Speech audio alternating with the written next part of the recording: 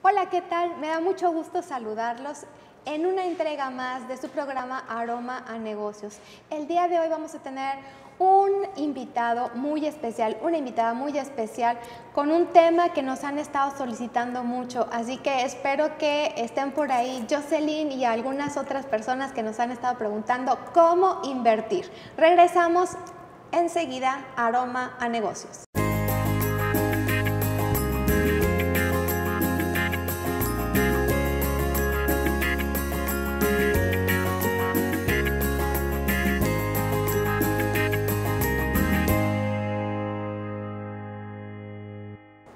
Que ya estamos aquí de regreso.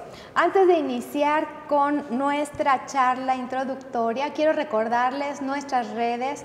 Nos pueden enviar mensajes, comentarios, sugerencias, preguntas para el día de hoy, para nuestra invitada, sobre el tema de inversiones. Vamos a aprender a invertir desde 100 pesos. Así que si tú tienes 100 pesos y quieres aprender el hábito de invertir, quédate aquí con nosotros. 826-114-1555 es nuestro número de WhatsApp para que nos envíes una pregunta, comentario, sugerencia o también puedes dejarnos tu mensaje en nuestras redes, ya sea Facebook, YouTube, en Aroma Negocios o a través de la página de UMTV.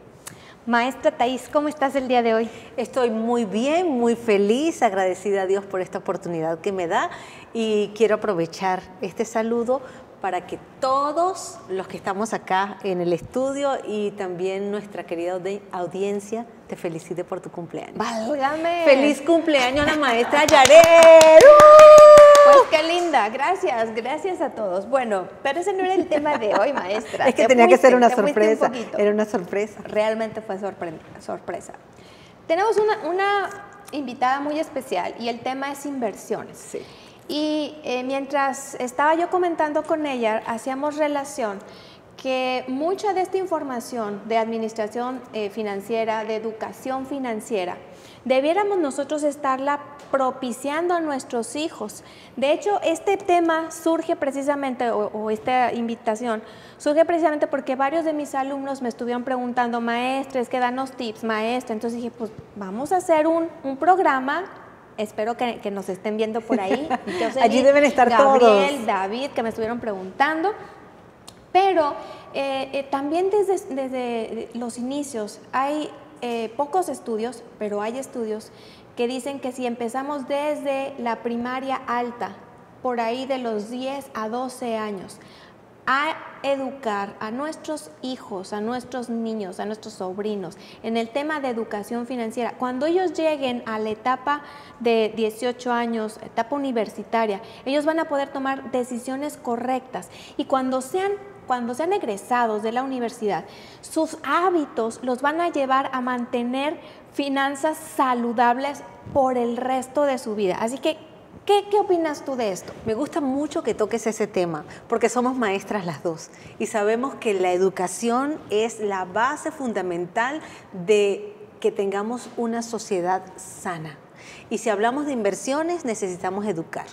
No es responsabilidad solamente de la escuela o de cuando los estudiantes llegan a, a FACEP, a nuestra facultad, a estudiar negocios. Debemos educarlos desde la casa. Y tengo algunos tips que puedo compartir contigo. El primero que debemos eh, propiciar es el ejemplo.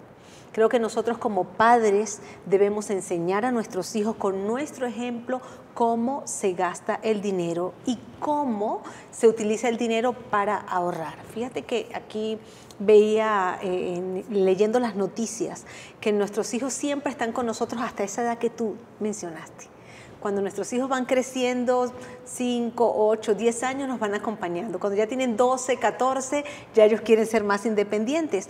Pero a lo largo de esos 10 años ellos están viendo cómo nosotros sacamos dinero del cajero y cuántas veces lo sacamos. Entonces, es importante que enseñemos que el dinero que se saca muy rápidamente de un cajero automático no es automáticamente que ese dinero entra allí, sino que lo hemos eh, tenido que eh, hemos tenido que trabajar por ese dinero. Fíjate que hay un, eh, ahora se me ocurre el ejemplo de mi sobrina, mi sobrina Valeria. Valeria una vez estaba jugando a las muñecas y mi mamá me dice, observa cómo juega Valeria. Jared, y, y la conversación que ella tenía con las muñecas y con sus amigas era comprar ellas iban a un café y compraban y ella tenía su tarjeta, pasaba la tarjeta, ponía la contraseña, le devolvían la tarjeta, le llegaba lo que estaba pidiendo. Tú sabes que es el restaurante. Y mi mamá me dice, oye, yo nunca jugué eso. Yo nunca jugué al restaurante con mis amigas. Lo que pasa es que es el estilo de vida, ellas ven que pasan la tarjeta por aquí, que pasan la tarjeta por allá. Y entonces nuestros hijos pueden llegar a pensar que eso es automático, que cuando llegas a la mayoría de edad, pues tienes una tarjeta, pero... Y tiene dinero. Y tiene dinero, pero el dinero no llega así. Entonces, con esa concientización, con esa educación, ¿cómo llega el dinero? Creo que sería el principio. ¿Cómo llega el dinero a las arcas? A esa cuenta bancaria, hay que trabajarlo. Y una vez que el dinero esté allí, aunque tú veas que yo lo saco con mucha facilidad, eso está presupuestado. Se sabe exactamente cuánto se va a gastar, para Ese cuándo. Ese tema es muy importante. Ya lo hemos abordado en varios programas, el presupuesto. Y aunque lo hemos abordado, yo he percibido por algunas preguntas que me han hecho como que todavía está un poquito eh, eh, en, el aire, como que todavía cuesta un poquito de trabajo aterrizarlo, o como que decimos, bueno, voy a presupuestar, pero nada más tres cosas, el alimento, el, vestido y, pues la colegiatura o, un, otro tipo de gasto, una renta, algo que, que ya tengo así como muy fijo, pero todo lo demás como que como que no, como, hay, como que ahí conforme vaya surgiendo la necesidad, ¿no? Y, llega el momento en que está esa necesidad, porque lo comentábamos hace unos minutos atrás, que pensamos, bueno, un viaje es como algo, y resulta que al año siempre queremos hacer un viajecito.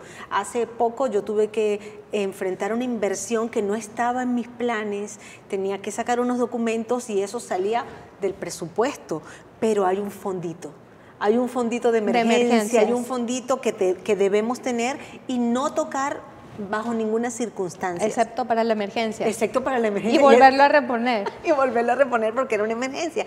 Entonces, Yared, qué importante es, y yo lo veo eh, en, tus hijos, y, y, te felicito por eso, porque sé que has inculcado en tus muchachos esa, esa forma de invertir cada peso. Tienes un peso, si compras esto y lo vendes, vas a tener una ganancia, pero no te vas a gastar el dinero, debes volverlo a invertir. Entonces, creo que la mejor forma de nosotros educar es con el ejemplo. Nuestros hijos van viendo, nuestros hijos van aprendiendo cómo ahorrar, cómo hacer buen uso de los implementos que tienen en el hogar, esa educación hay momentos para gastar, hay momentos para ahorrar. También lo hemos comentado aquí en el programa cuando en una ocasión mis, padres nos sentaron y nos dijeron, vamos a construir otra casa, queremos otra casa, ah, sí, queremos otra casa, qué bueno, pero eso representa que nos vamos a ajustar en otras cosas. Y dijimos, ¿qué otras cosas? Bueno, las vacaciones ya no van a ser aquí, sino acá, y esto y lo otro. Y nosotros, de, de una forma muy madura, éramos unos niños, pero lo comprendimos. Entonces, cabe hablar de lo que también hemos mencionado en este programa, la comunicación. Comunicarnos con nuestros hijos. La inversión debe ser un tema del que tenemos que hablar. Aunque usted no conozca mucho de inversión, porque no piense que, que, es algo muy común, usted invierte, ¿verdad, Jared? Todos invertimos, todos ahorramos, todos gastamos. Entonces, lo mejor es estar completamente informado de cómo utilizar el dinero y para eso es este programa. Y además también déjame comentarte que hay mucha información actualmente. La, Conducef tiene todo un manual de finanzas personales. Aquí mismo nosotros en la universidad tenemos también cursos y programas. Si ustedes necesitan orientación, con mucho gusto nos pueden eh, pedir, solicitar y les vamos a apoyar. Eh, esa parte que mencionas de, del conocimiento, es importante dialogarlo, así como hablas de sexo con tus hijos, así como hablas de drogas con tus hijos, así como hablas del buen comportamiento, así como hablas de metas, así como hablamos de qué vamos a comer mañana. Debiéramos estar abordando esto, porque tú lo dijiste, dice la Biblia, es muy clara, repites y repites y repites en la mañana, mediodía y en la noche.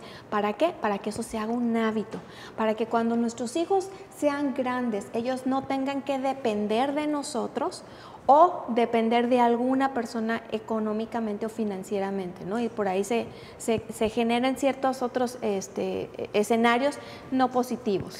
Y Jared, eh, nuestros hijos, si queremos que tengan una salud mental, una estabilidad emocional, debemos enseñarlos a que aprendan a manejar el dinero que nosotros les damos. De repente le damos algo semanal, algo mensual o quizá en alguna oportunidad sencillamente no le damos y ellos tienen que ganarse el dinero. Ellos tienen que saber por qué ¿Por qué suceden estas cosas? ¿Cuál es el presupuesto de mi mamá? ¿Cuál es el presupuesto de mi papá? ¿Por qué en la casa se manejan las cosas así? ¿Por qué estoy comiendo de esta forma? ¿Por qué no viajamos como viajan los otros? Y, hay una recomendación que dan los expertos y es que debemos tener mucho cuidado con la publicidad. Debemos manejarnos en un ambiente muy sincero con nuestros hijos y hacerles ver que la publicidad muestra algo que quizás no es una necesidad, sino puede ser despertar un deseo o algo sobre lo que ellos quieren. Fíjate que hace poco me pasaba con uno de mis hijos que me decía, yo quiero un artículo. Y yo le dije, ah, qué bonito, sí, lo estuvimos viendo por internet, sí, y te gusta, un poco costoso. Él trabaja y él se lo quiere comprar con su, con su dinero. Y le dije, ¿y lo necesitas? Y me dice, no me hagas esa pregunta, mamá, porque cada vez que me haces esa pregunta, no lo compro. Y yo le dije, no, no, lo puedes comprar Solamente reflexiona, ¿lo necesita? No, mamá, no lo necesito. Y no lo compró y después me dice, ¿sabes qué? Tenías razón. Fue una buena decisión, porque iba a tener dos cosas casi iguales solamente por complacer un capricho, por estar a, ese nivel de lo que llama Maslow, de la necesidad de, estima social, ¿verdad? Pero nosotros... De pertenencia a un grupo. Exactamente, nosotros debemos aprender a invertir el dinero y qué bueno que estamos tocando ahora en nuestras casas, en nuestros hogares, cuando las personas están formando un hogar, creo que dentro de los puntos de la capacitación está cómo van a manejar el dinero. Y sin, porque sé que el tiempo nos corre, Yared, es bueno que hablemos a las personas mayores, aquellas personas que están próximas a pensionarse, a jubilarse o que quizás ya están allí y dicen, yo no tuve la oportunidad de ahorrar. Creo que siempre hay tiempo para ahorrar. Y, ahora que lo mencionas, no, no, nada más es el ahorro, porque a lo mejor algunos que nos están viendo ya tienen desarrollado el hábito del ahorro. Pero, ¿qué pasa después con ese ahorro?